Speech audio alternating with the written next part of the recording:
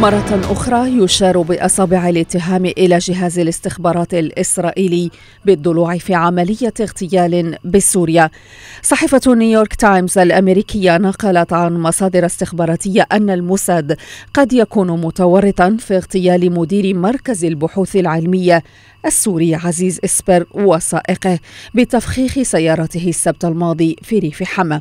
ويعد إسبر أحد أهم العلماء المتخصصين في تطوير الصواريخ في سوريا حيث كان يتواصل مع كبار المسؤولين في الحكومتين السورية والإيرانية كما تعاون وفق مصادر الصحيفة مع قاسم سليماني قائد فيلق القدس التابع للحرس الثوري الإيراني لتطوير صواريخ فائقة الدقة يمكنها استهداف مدن إسرائيلية.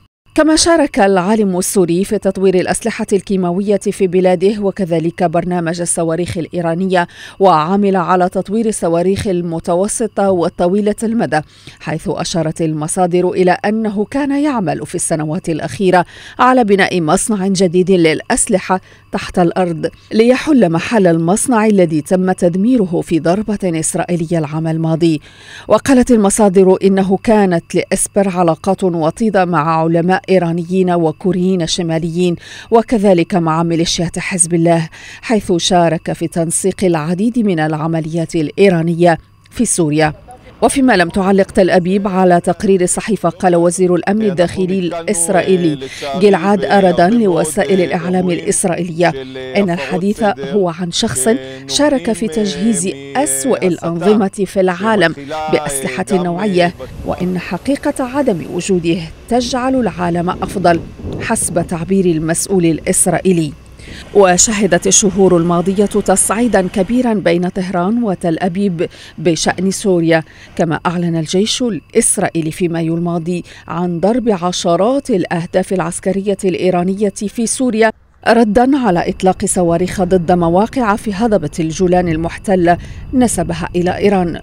ورغم أنه نادرا ما تتحدث إسرائيل عن هذه العمليات لكنها في المقابل تكرر دائما أنها لن تسمح لإيران بترسيخ وجودها العسكري في سوريا.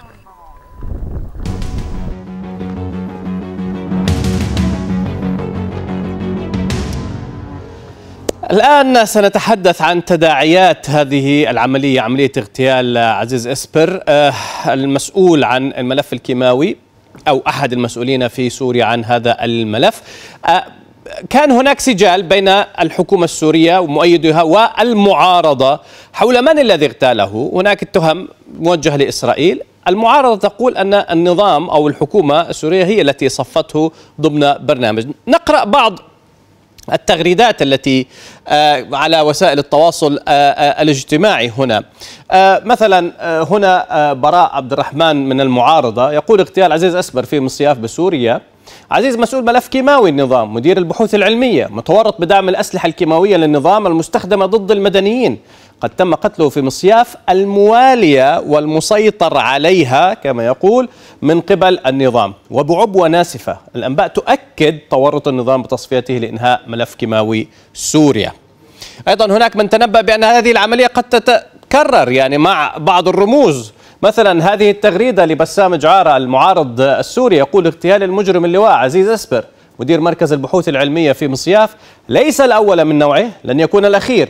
سيتم اصطياد المجرمين دون توقف هنا يشير أكثر إلى أن المعارضة هي التي يعني قامت باغتياله. في المقابل المؤيدين المؤيدون للحكومة السورية يقولون بأنه في شيء في الموضوع. مثلا عماد داعود يقول الأمر الذي يجب أن لا نستهتر فيه وجود الخونة أينما كان وهؤلاء لا يهمهم وطن ولا دين ولا مذهب ربهم معبودهم المال. آه، قتله يقول عن آه، عزيز أسبر الذي يصفه بالشهيد قتله الصهاينة. المنفذ لا شك خونة. قتلوا عالم ليقبضوا دولارات. الخونة حولنا فلندقق. هنا أيضا يتحدث عن ربما اختراقات ورشا ربما وراء هذا الموضوع.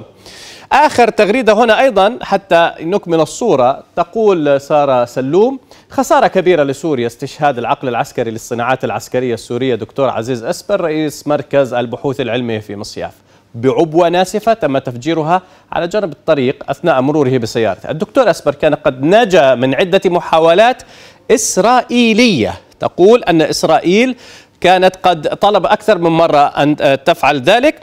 ولاغتياله جوا بصواريخ بعيدة المدى وتقول الخلود للشهداء. إذا من الذي قتله؟ من الذي اغتاله؟ ولمصلحة من؟ هل إسرائيل لها مصلحة؟ هل كانت طرف هل قامت باغتياله مباشرة؟ أم استعانت بالمعارضة؟ كيف؟ أم أن النظام هو الذي يصفي بعض الرموز حتى يبعد عن نفسه شبهة آه، آه، جرائم ضد الإنسانية. نبحث في هذا الملف مع ضيفنا من لندن مدير مركز الأبحاث في مؤسسة العرب غسان إبراهيم. أهلا وسهلا بك غسان. إلى مسار الأحداث في سكاي نيوز عربية. الآن أصابع الاتهام تتجه مباشرة نحو إسرائيل لأنها حاولت أن تغتاله أكثر من مرة. أبدت ارتياحها من اغتياله. آه، لكن هل يمكن أن تكون يد إسرائيل التي وصلت إليه بشكل مباشر؟ أم في تعاون بين إسرائيل والمعارضة؟ أم في رواية أخرى بأن النظام؟ ما رأيك؟ يعني حقيقة هناك كل هذه الروايات مطروحة للنقاش فالبعض يقول أن المعارضة قامت بهذا العمل.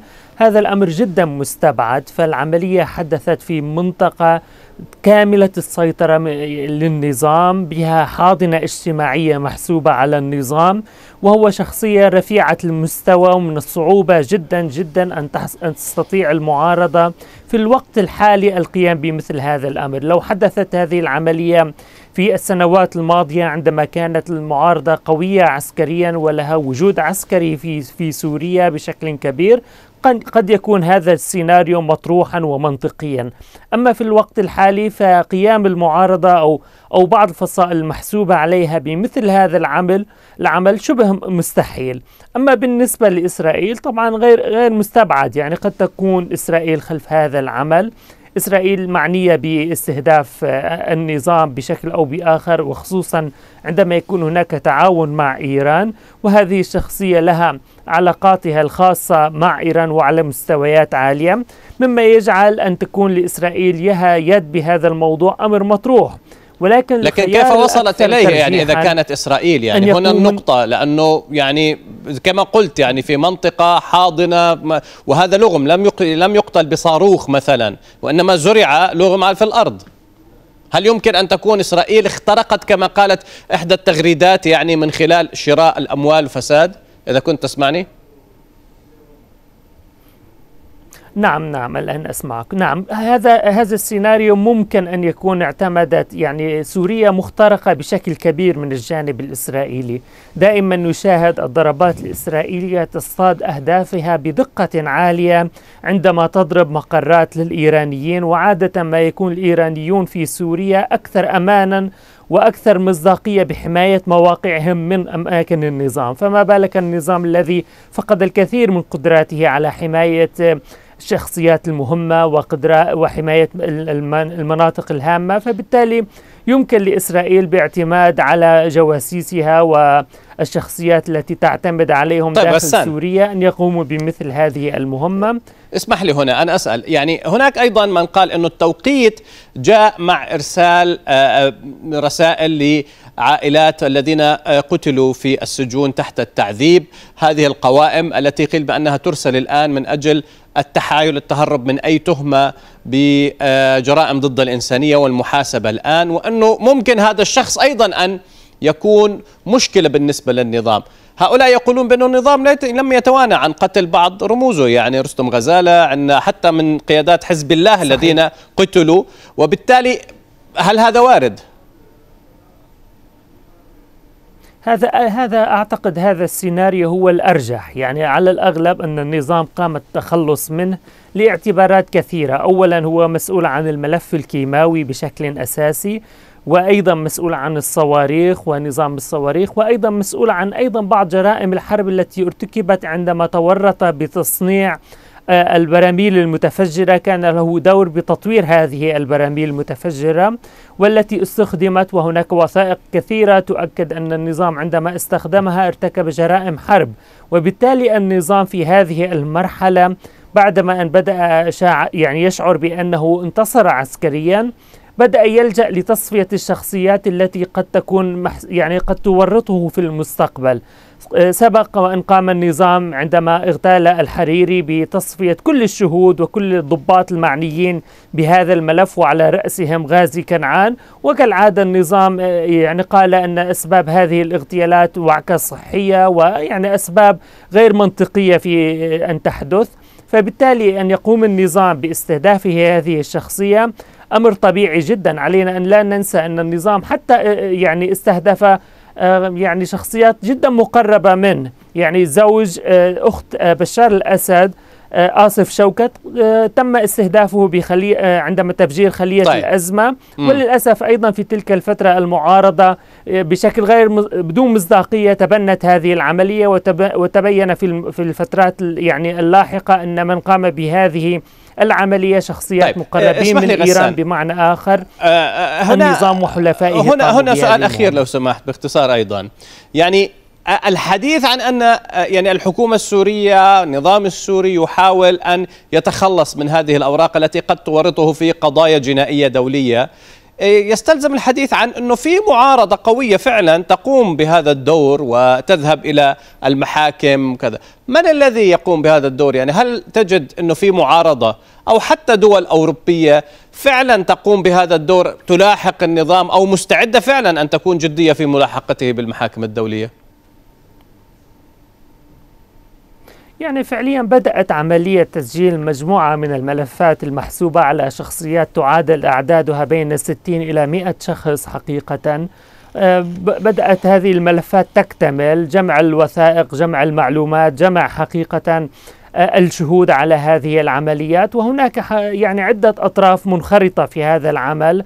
المعارضة وبعض المتطوعين من القانونيين وخصوصا أن هناك أعداد كبيرة من المحامين الذين خرجوا من سوريا ولديهم المعلومات وقاموا بتوثيق هذه المعلومات بالإضافة للتعاون مع جهات أوروبية وجهات أمريكية وجهات عديدة حريصة على إعداد هذه الملفات لتكون جاهزة في يوم من الأيام عندما يرفض نظام الأسد اللجوء إلى الحل السياسي. الجميع يعلم أن الولايات المتحدة نعم. الأمريكية حتى هذه اللحظة مصرة على أن يكون الحل في جنيف وفي حال يعني رفض النظام الانخراط في هذا الأمر. أعتقد هذه الملفات سوف تستخدم. شكرا جزيلا لضيفنا من لندن مدير مركز الأبحاث في مؤسسة العرب غسان إبراهيم.